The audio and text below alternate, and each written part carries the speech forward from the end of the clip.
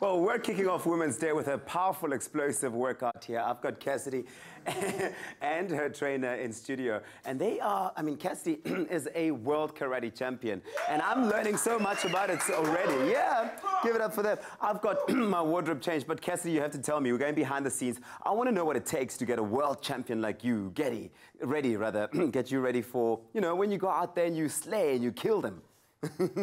what do you do?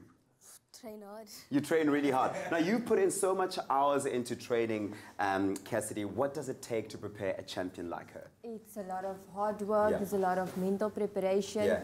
There's a lot of training that goes into that. There's a lot of sacrifices. Yeah. That's the most important part that we have to make. She's still at school, so after school, is straight to karate, train for two hours. There's a lot of preparation that goes into making this success. It's a lot. Well, you're going to show me some basics. The first thing you've already shown me so far is feet forward and stand in formation. What else happens after that? Right, so when we start, eh, you put your left hand up, and we're going to do a chokuzuki, a punch. A chokuzuki, okay? Yes. Let's so all the punches are zuki. So you're going to punch one. And the other hand that goes back is the first. Two, Ah, three, four, yeah. five. Yeah. Forward. Right, that's a punch. And then as a beginner, you will do a rising block. So from here, your hand goes up this way, one. Uh-huh. Now then goes here. Uh -huh. I'm getting it wrong, but and the other way. yeah.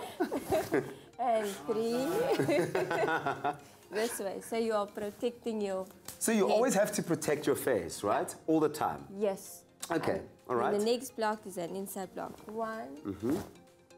Good. Mm. Two. Three. And then the next one is an outside block, just the other way, the outside. One. Uh-huh. And now the other hand goes over your left hand. Two. There we Yeah. go. Three, Getting a hang of this, eh? four, It's like a little dance.